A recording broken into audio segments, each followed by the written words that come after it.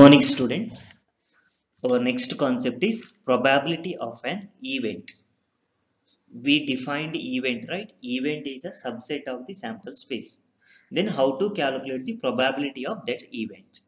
See, probability of any event A denoted by P of A. P of A means probability of the given event A is given by P of A is equal to N of A by N of S.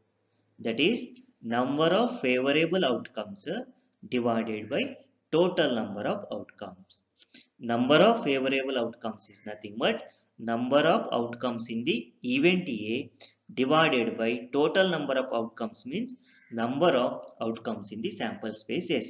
So probability of any event A is equal to number of outcomes in the event A divided by number of outcomes in the sample space S. Okay. Just remember the formula probability of any event P of A is equal to N of A by N of S. N of A means number of outcomes in the event A divided by N of S means number of outcomes in the sample space S. Okay. For example, see, uh, take the random experiment tossing a coin once. Okay. And then sample space we know, right? Head, tail. Take event E such that uh, getting a tail and F uh, such that getting a head. Okay. Now what is event E? E is equal to H only. Only one outcome. What is event F? That is equal to H only. Then see in this example we can observe right what is N of E? N of E is equal to 1. N of F also equal to 1. Now N of S is equal to how much number of outcomes in the sample spaces? Uh, n of S is equal to 2. Okay. Now write the formula. First we need to calculate probability of E. Probability of E means probability of getting tail. It's equal to N of E divided by N of S. What is N of E? 1. Divided what is N of S? 2. So probability of getting tail is equal to 1 by 2. Then probability of F. What's the meaning of probability of F? Probability of F means getting a head. Then it's equal to probability of F is equal to N of F divided by N of S. It's equal to what is N of F? Here you can see 1 divided by N of S. Here you can see 2. So its value is equal to 1 by 2. This is how to calculate the probability. Or take the second example. Rolling a die once. Okay.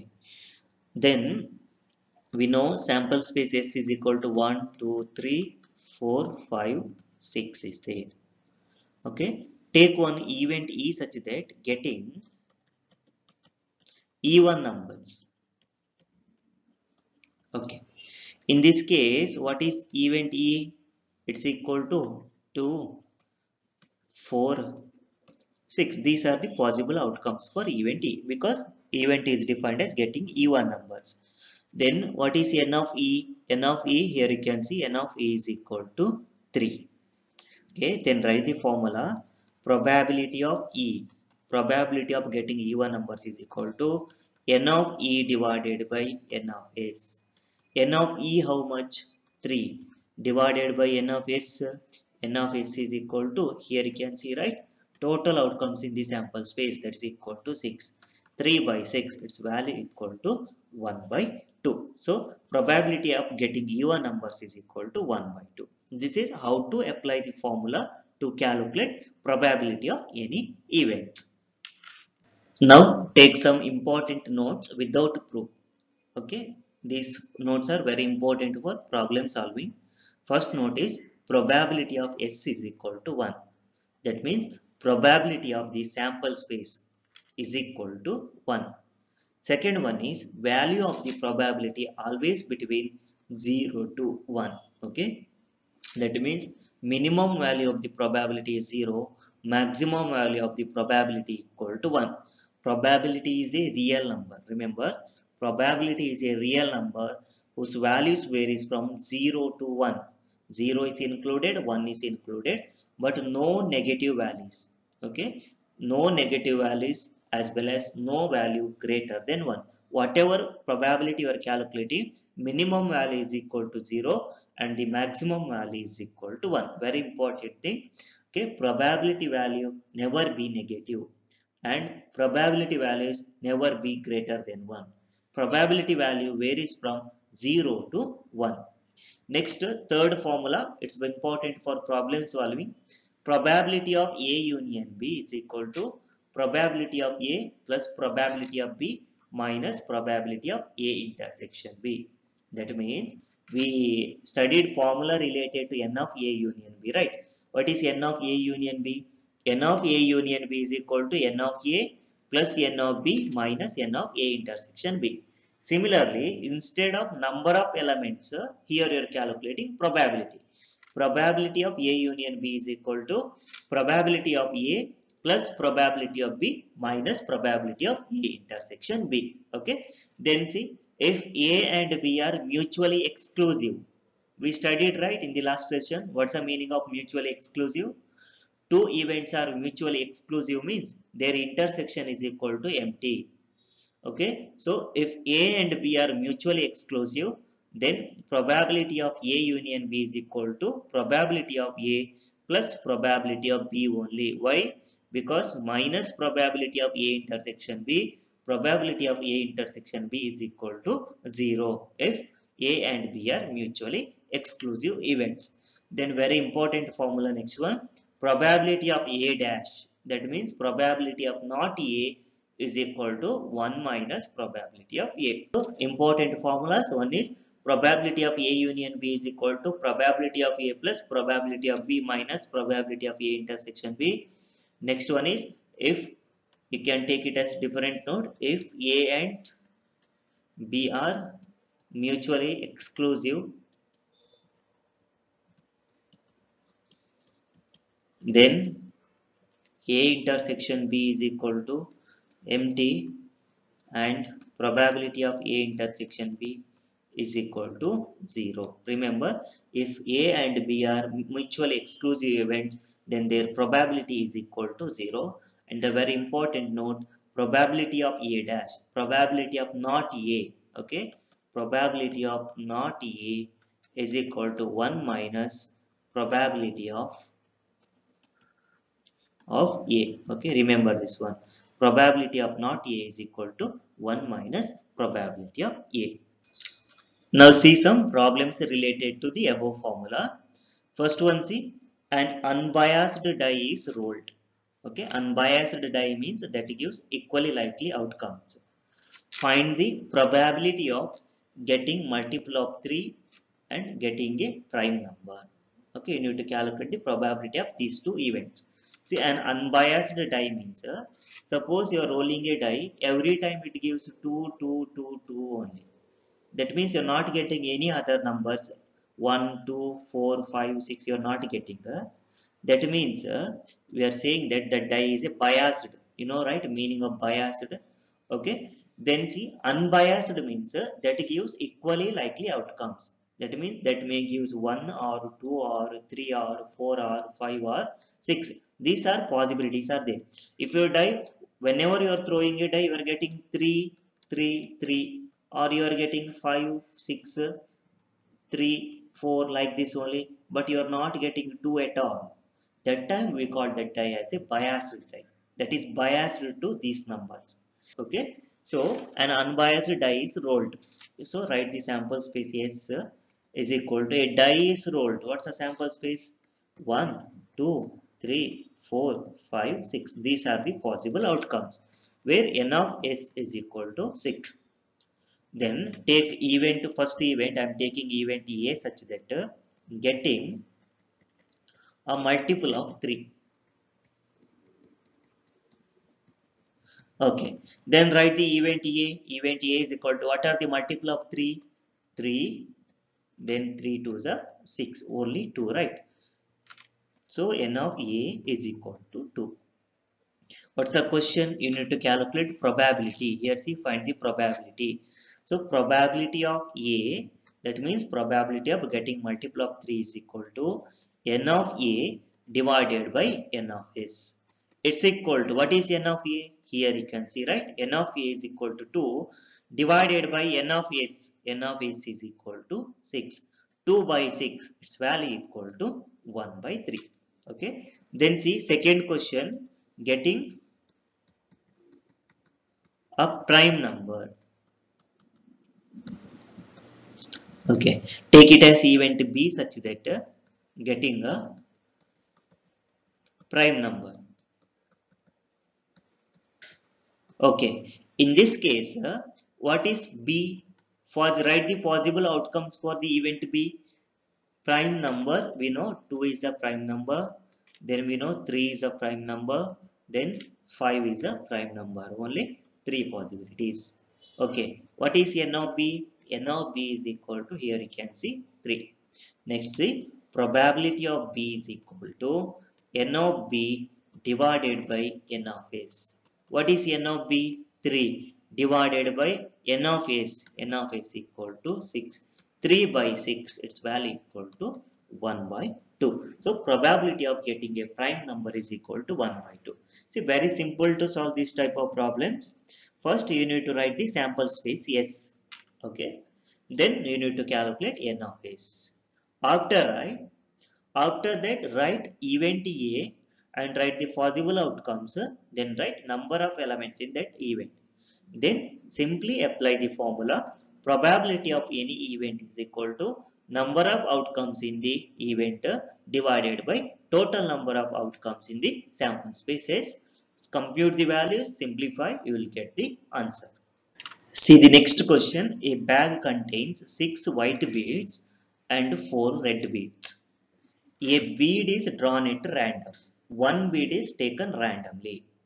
Question is, what is the probability that bead drawn is white? Clear? Actually, six white beads and four red beads are there. One bead is taken at random. Our question is, find the probability that that bead drawn is white. Okay, clear event, event is bead drawn is white. So here right, n of s is equal to 6 white plus 4 red. It's equal to 10 beads. N of S is equal to 10 beads. Take event A such that bead is white. Bead drawn is white. Then what is N of A? Number of white beads, right? Outcomes are in the event A is equal to white bead because bead drawn is white. How many white beads are there? you can see 6 white beads are there. So n of a equal to 6. Therefore, probability of the white bead is equal to n of a divided by n of s. Equal to what is n of a? 6 beads are there, right? 6 divided by total beads. Total bead equal to 10. So, 2 3s are 2 5s are 3 by 5 is the probability that bead drawn is white. Clear? Here see event here directly outcomes of the event given right six white beads and four red beads given. Then probability of white bead. That means you need to calculate n of a. That means here n of a that means number of white bead directly 6 given. So apply the formula you will get the answer. See the next question. A box contains 8 red marbles 6 green marbles and 10 pink marbles one marble is drawn at random from the box. What is the probability that the marble drawn is either red or green? Clear?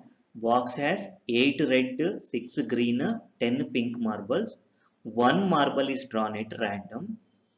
What is the probability that marble drawn is either red or green? Here say your event is uh, marble drawn is red or green. So n of s is equal to see 8 red plus 6 green plus 10 pink. It's equal to see 16 plus 8 it's equal to 24. Number of outcomes total 24s are there. Okay, I will write the event such that event A such that marble drawn is red or green. That is n of A is equal to red. How many reds are there? You can see 8 red or how many greens are there? Green is equal to 6. Okay. The, that implies n of A is equal to 8 plus y plus or comes right or means plus we studied that in permutation and combination. 8 plus 6 8 plus 6 it's equal to 14 so n of a is equal to 14 8 red, for red 8 possibility. Or green 6 possibility. So 8 plus because here or is there. Whenever or comes that is plus right? So 8 plus 6 it's equal to 14 so then probability of probability of A is equal n of A divided by n of S. It's equal to what is n of A? n of A is equal to C 14 divided by n of S. n of S is equal to 24. You can say that 2 sevens are 14, 2 twelves are. So it's equal to 7 divided by 12. It's a probability. Or C, you can solve like this also. Here see, box contains 8 red marbles, 6 green marbles and 10, 10 pink marbles. So, n of s is equal to 24. Okay, take A such that red ball and event B such that green ball. Okay, then see what is n of A? n of A is equal to 8 n of b is equal to 6 then what is probability of a? Probability of a is equal to 8 by 24 probability of b is equal to 6 by 24 okay? Now question is see probability of a union b right? Probability of red or green. We know right? Probability of a or b that is union. It's equal to probability of a plus uh, probability of B minus probability of A intersection B. So probability of A union B is equal to probability of A is 8 by 24 plus probability of B is 6 by 24 minus what is A intersection B?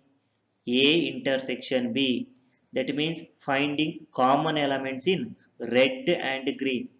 Is there any common elements in red and green? No right? Red disk and green disk different colors. We can't find intersection. There is no common elements. A intersection b is equal to empty set.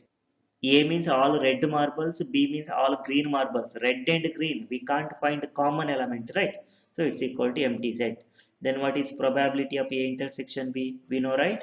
A intersection b is equal to empty set means probability of A intersection B is equal to 0.